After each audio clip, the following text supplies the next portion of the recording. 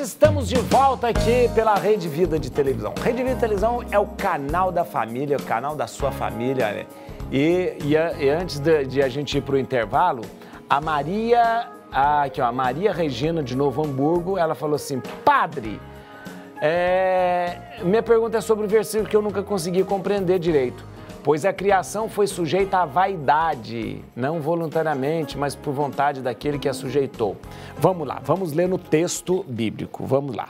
O texto bíblico é de Romanos 8, 20. É muito interessante. São Paulo escreve aos Romanos e São Paulo escreve assim: vou ter, tenho para mim que os sofrimentos da presente vida não têm proporção alguma com a glória futura que nos deve ser manifestada. Por isso a criação, olha que lindo isso, aguarda ansiosamente a manifestação dos filhos de Deus. Pois a criação foi sujeita à vaidade, não por vontade própria, mas por vontade daquele que a sujeitou. É, vamos lá.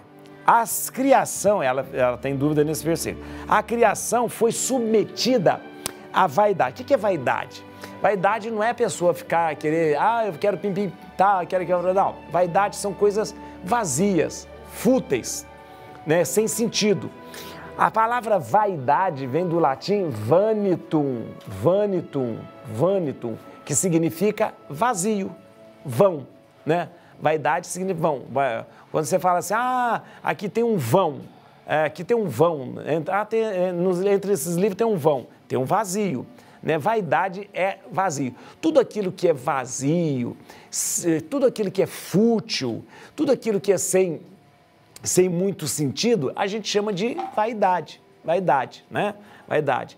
Então é importante lembrar que o que São Paulo fala, ó, a criação, tudo que Deus criou perfeitamente, foi submetida às coisas fúteis. Por quem? Por Deus? Não, por nós que submetemos essa criação.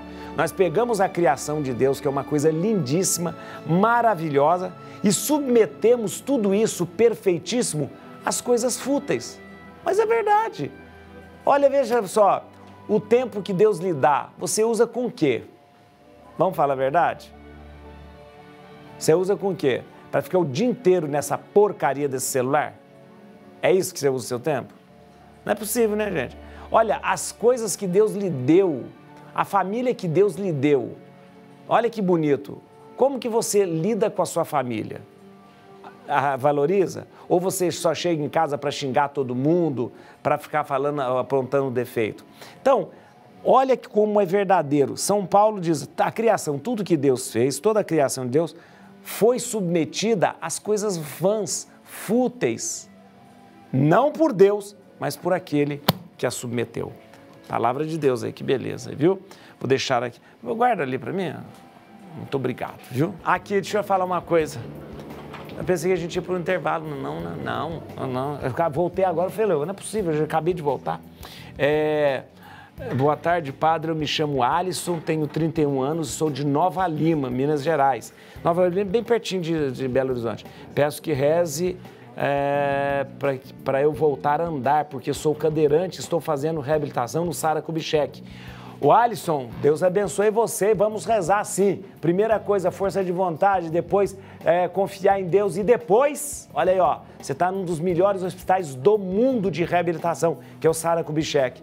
Pode, a Rede Sara é um, um dos maiores hospitais do mundo, ah, tá bom? E eu tenho certeza que você vai andar sim, viu? Tenho certeza.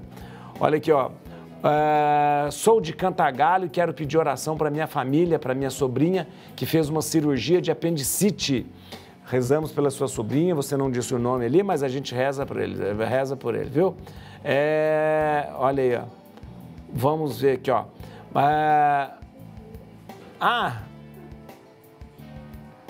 ah, ela perguntou de novo assim, mas ali disse que foi voluntariamente, claro, foi voluntariamente, é, voluntariamente pela própria vontade. Fomos nós, a questão da submeter a, a criação às coisas fúteis, foi nós que submetemos voluntariamente, significa que foi feito pela nossa vontade.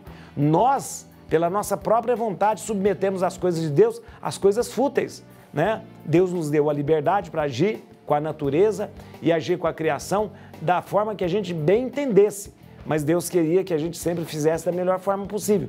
E voluntariamente, a partir da nossa vontade, nós submetemos a criação às coisas erradas e às coisas fúteis. Tá bom? Vamos lá. Boa tarde, padre. Eu peço orações para minha família. Eu sou de Petrolina, Pernambuco. Que beleza. Deus abençoe e aí rezo por você.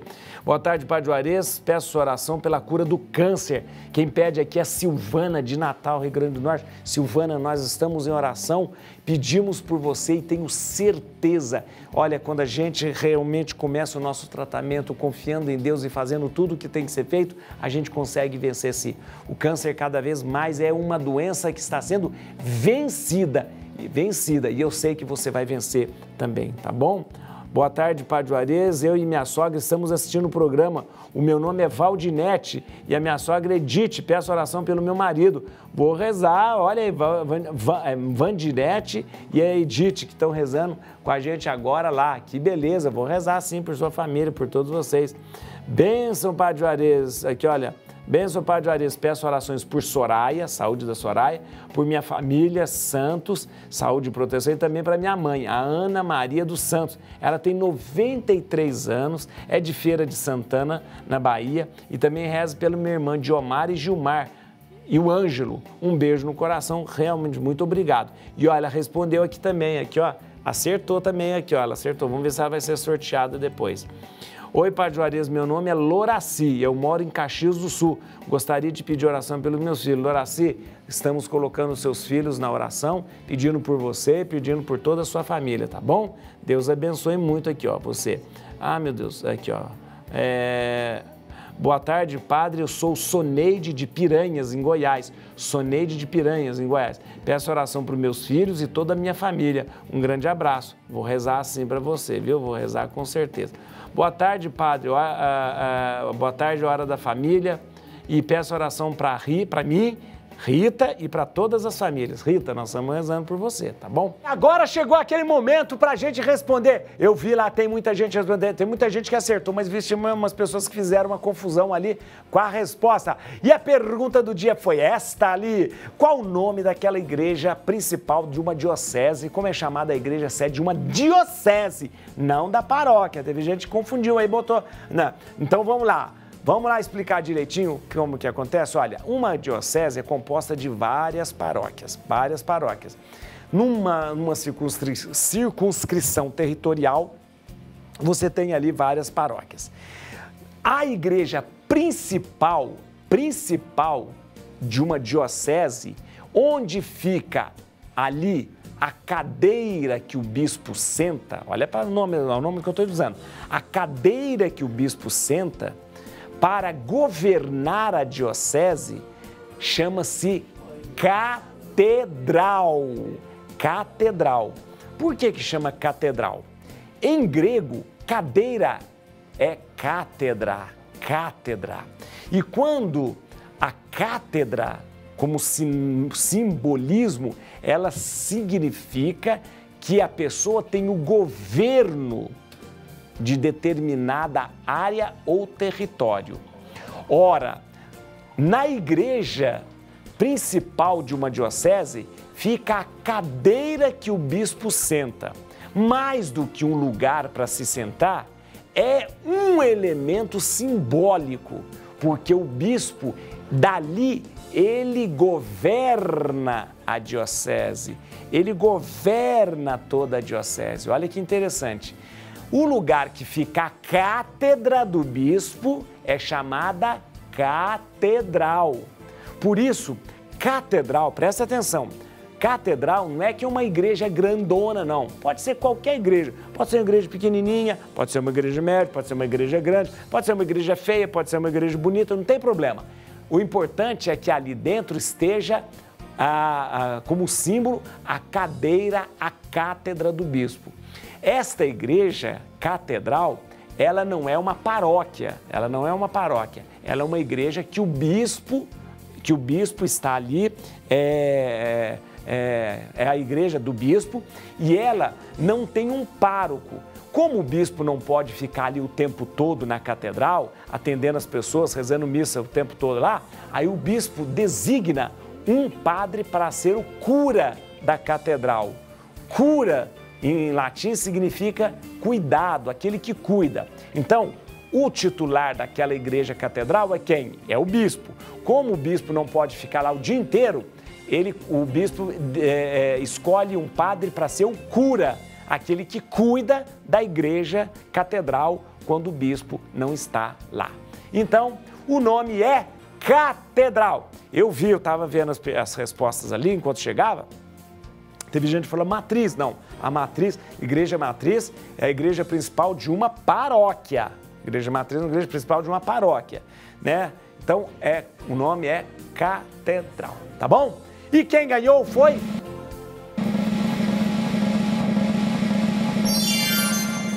Ana Luísa Freitas de Uberlândia, Minas Gerais. Ana Luísa, muito obrigado, Deus abençoe. Uma maneira de agradecer você. Eu vou mandar para você o meu CD. Muito obrigado por participar conosco aqui no Hora da Família. Obrigado mesmo. Vou mandar para você o meu CD, tá certo? Tá bom, gente? Ó, muito obrigado às pessoas que participaram aí, enviando os seus, uh, as, suas, as, suas, as suas respostas. Gente, ó, daqui a pouco? Daqui a pouco, no programa do Dalcides, vai ter um momento muito especial, sabe o que, que é?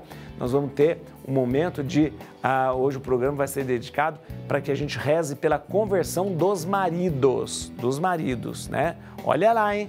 Conversão dos maridos. Maridão aí, ó não, não vai muita missa, maridão aí que não fica, é, fala, fica reclamando que você também não sai da igreja. Ô, oh, mulher, vai de novo na igreja, o que, que, é isso? Olha aí, né? Então, Vamos hoje rezar pela conversão dos maridos, daqui a pouco ali, ó, com o Dalcides, tá bom? Tá certo, gente? Vamos ver aqui, ó, também, ó. Olha bem, olha lá que beleza, ó.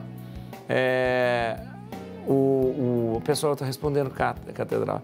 Boa tarde, padre. Eu sou a Rosane de Primavera, Pernambuco. Peço oração por toda a minha família. Vou rezar, viu? Vou rezar com certeza. Viu? Também aqui, ó. Boa tarde, padre. Sua bênção. Padre, quero pedir oração para os meus filhos Vinícius e Vitória. Para que Deus abençoe sempre a vida deles e que Deus abençoe a vida de todos vocês, tá bom? Também, Padre Juarez, peço oração por todos os casais que não estão se entendendo. Tenha misericórdia dessas crianças, amém. Eu sou a Maria e sempre assisto o seu programa e é muito bom. Maria, muito obrigado, viu? Obrigado mesmo. E você falou uma coisa muito importante: rezar pelos casais que estão em crise, pelos casamentos que estão em crise. Vamos colocar hoje no Santíssimo Sacramento, né, em todos os casais que precisam dessa nossa oração, tá bom? Então vamos lá também aqui, ó. A benção, Padre Juarez, peço orações por minha família, a santos e lebeis, saúde e proteção. Peço que Deus é, peço coloque na, oração, na hora da oração o Santíssimo. Desde já agradeço, um beijo no coração, tá bom? Muita gente participando, quero agradecer a participação de todos vocês. Boa tarde, Padre, eu estou pedindo para uh, o meu casamento, pois acabou, e meu marido, estou pedindo para o meu casamento, pois acabou, e meu marido não saiu de casa e me faz sofrer bastante reze por mim, eu estou precisando muito. Olha, é, é, uma situação tão difícil, muito difícil mesmo, né? O casamento acabou, os dois continuam morando juntos, né? E, e eu imagino que situação. Quem sabe nesse fato de estar morando juntos ainda, não existe uma chance lá numa, numa chaminha que ainda possa fumegar e de repente voltar esse casamento, né? Quem sabe esse casamento não pode voltar a ter a mesma alegria, o mesmo vigor de antes, né?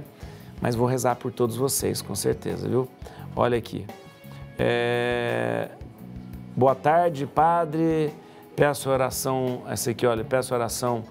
É... Peço, boa tarde, padre. Eu não vou, está dizendo, não diga os nomes, não vou dizer o nome, claro que não vou dizer o nome. Boa tarde, padre. Eu peço oração para o meu marido, porque ele tem HIV, está com depressão e eu também. E eu também. É, eu, eu, quero dizer para você uma coisa. Hoje é, é, são duas coisas, né? Ele está com HIV e está com a depressão. São duas doenças e duas enfermidades e você também está com depressão e você também está mal passando por esse momento. Quero lembrar você, primeira coisa, o HIV é, hoje a pessoa tem um acompanhamento que pode ser feito e a pessoa tem uma vida normal, normal, normal, justamente, claro, cuidando para não infectar outras pessoas, mas uma pessoa tem uma vida normal.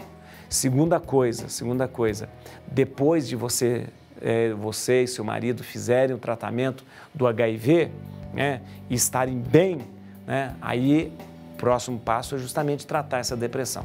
Pode ser tido, de repente, a depressão ter desencadeado por causa dessa notícia que vocês tiveram. Mas não comece a se desesperar. Não se desespere. Hoje, quando a gente fala em HIV, a gente ainda tem aquele, aquela, aquela, aquela, aquele fantasma de um tempo atrás, mas é muito importante saber que há tratamento. Não há cura, não existe cura, por isso que tem que ter muito cuidado. Não há cura, mas existe o tratamento para que você tenha uma vida e uma qualidade de vida muito boa, sim, tá bom? Mas o que importa é que nós estamos em oração por você. Nós vamos para o intervalo e voltamos bem rapidinho.